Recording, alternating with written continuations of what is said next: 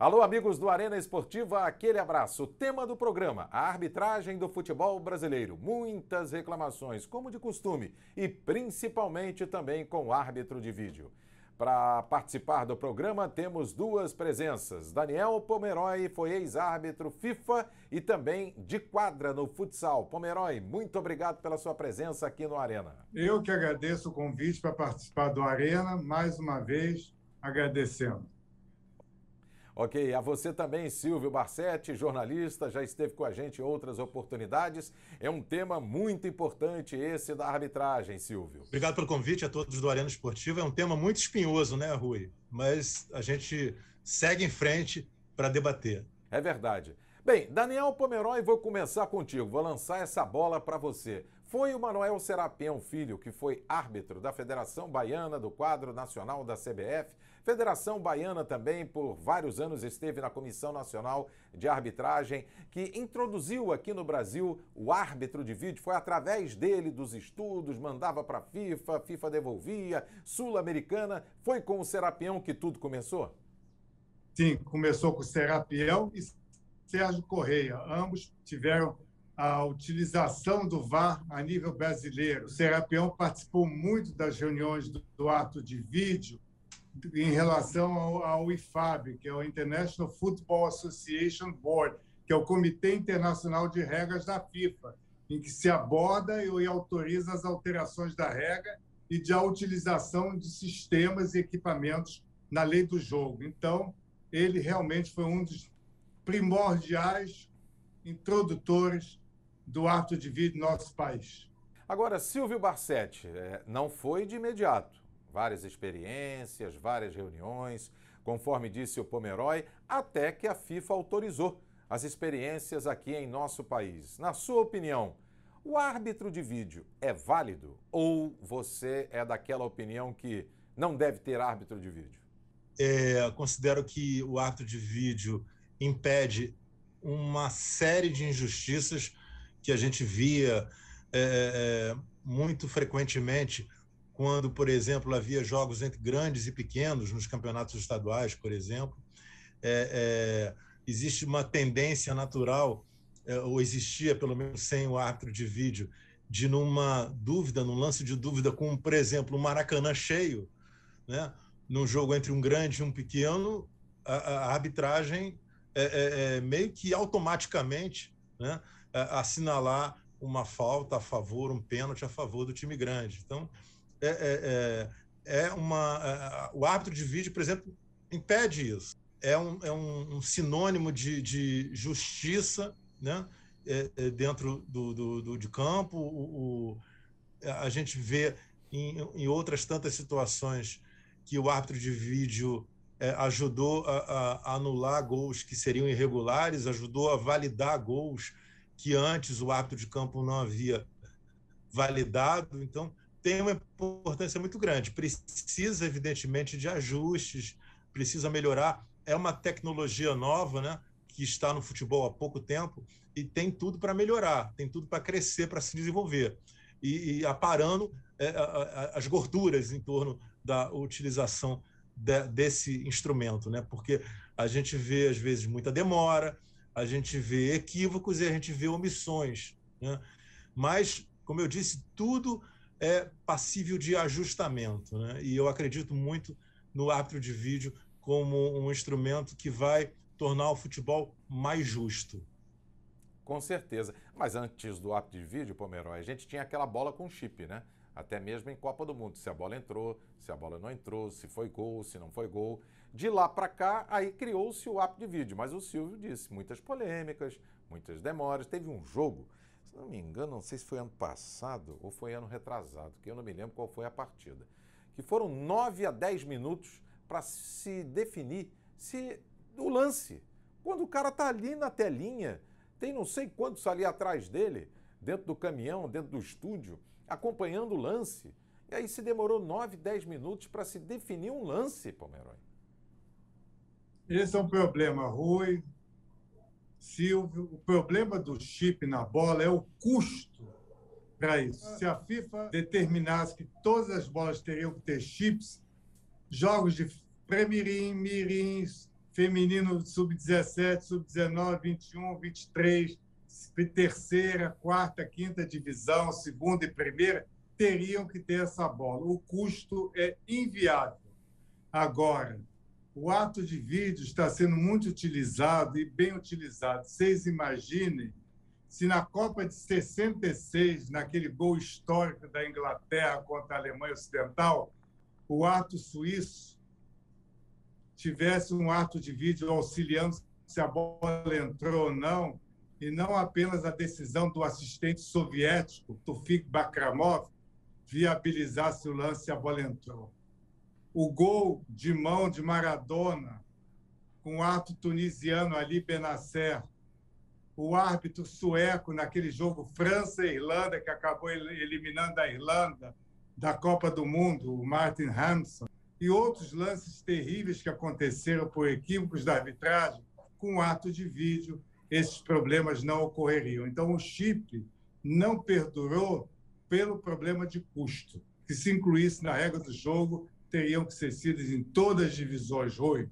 É, o, o Pomeroy até falou do custo né, do chip, o Barcetti, mas se eu não estou equivocado, são 40 mil reais cada é, jogo com árbitro de vídeo. Será que esse custo não é mais elevado? Mas também você tem o vídeo para definir, só não pode ficar demorando, né? Como muitas vezes acontece, né? Então, você falou aí, esse jogo de 9 a 10 minutos, é quase um intervalo, né? Pois dá é. pro cara, dá Pois pro é. cara ir ao banheiro, comprar uma cervejinha, um refrigerante, né? Sentar e ainda comer um sanduíche, né? Depois voltar É. e o jogo não começou ainda. novo. Não Exatamente. recomeçou, né? Né? Isso é um problema. Eu, é, é, é, a gente tem acompanhado discussões a- até da, da gestão nova da CBF com relação a esse problema e também da gestão nova da Comissão Nacional de Arbitragem para tentar melhorar, dar uma celeridade nesse processo, né? Agora, essa celeridade ela não pode é, é, implicar em omissão. E a gente viu aí situações recentes em que o árbitro de vídeo poderia ter chamado o árbitro de campo, poderia ter alertado, pelo menos, para situações claras né, e decisivas nos jogos, e isso não aconteceu. Né? Enfim, é, é, mas é um instrumento válido, e eu quero só fazer uma, um, um- um adendo aqui de que discutir arbitragem com Daniel Pomeroy é muita responsabilidade. Minha e sua, hein, Rui? Com certeza. Não, mas porque... a- Rui, é- tem um é- problema também. Você não. se lembra que no campeonato inglês tinha uma bola com chip e o relógio do árbitro falhou. Isso! Exato. jogo 0 a 0 que seria o gol da Exatamente. vitória do West Ham, e o Exatamente. gol falhou. Exatamente. Tem outro problema. Agora, quando você falou também, eu lembro desse, desse fato, o, o Pomer- Pomeroy. Agora, quando você, Barcetti, falou sobre o Pomeroy, eu fiz vários jogos, participei na cobertura quando eu era do Sport TV, vários jogos de futsal com o Pomeroy apitando dentro de quadra, com aquele escudo FIFA. Né? Que o Pomeroy era um baita árbitro, não só de campo, né? como também de quadra. E eu vou dizer para você, muita, muita, não aparecia, porque Uhum. já dizia o Armando Marques, árbitro bom é aquele que não aparece, é aquele que cumpre as regras, e o Pomeroy foi sempre assim, e via a calma do Pomeroy para definir e impunha respeito, Daniel Sim, Pomeroy. sim, sim. E aí. Pomeroy? Queria que você falasse sobre a tua carreira também.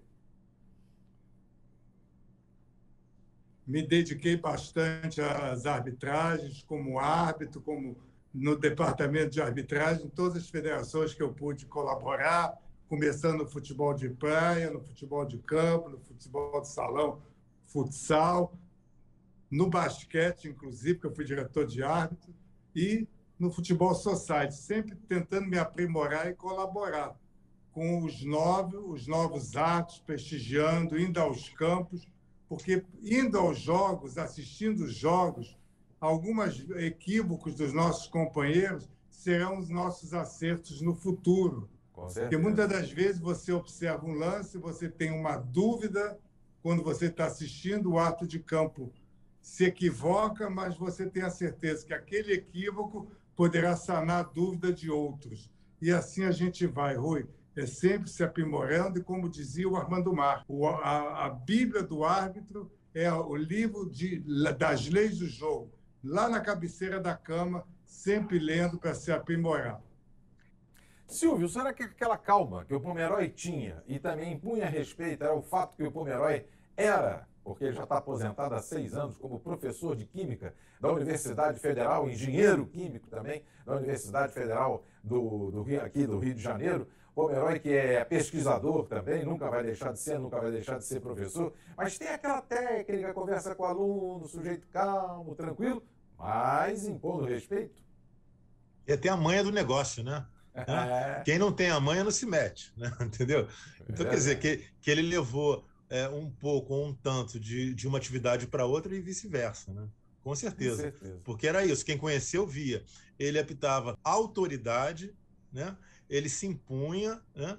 e, e, e, e calmamente, não precisava né, fazer nenhum estardalhaço, tinha de cumprir a ordem dele, ponto final. E assim ele se destacou. É verdade. Oh, Pomeroy e Silvio Barsetti, árbitros estão fazendo a reciclagem. Sete já foram afastados. A gente vai tratar desse assunto agora e quero estender, inclusive, para a segunda parte. Por exemplo, Bruno Arleu, Sal, é, o Sávio Pereira Sampaio, Rafael Trace, Luiz Flávio de Oliveira, irmão do Paulo César de Oliveira, o Emerson Almeida Ferreira, o Márcio é, Vinícius Gomes e o ato de vídeo Wagner Howey. Uns já voltaram, outros estão na reciclagem. É melhor assim ser afastado e ir para reciclagem, volta na Série B, na Série C, para depois novamente voltar à Série A, Pomeroy? Olha, de todos que você relacionou, cinco são do quadro da FIFA. Verdade. Cinco são FIFAs, quer sejam árbitros de campo, quer sejam atos de vídeo. Dois apenas cometeram aquele equívoco, o Emerson e o Marcos Vinícius Gomes, ambos de Minas Gerais, que infelizmente falharam e falharam feio.